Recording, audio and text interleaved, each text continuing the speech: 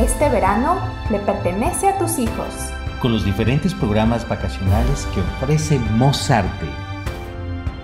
Donde aprenderán a tocar el instrumento de su preferencia. Canto. Afinación.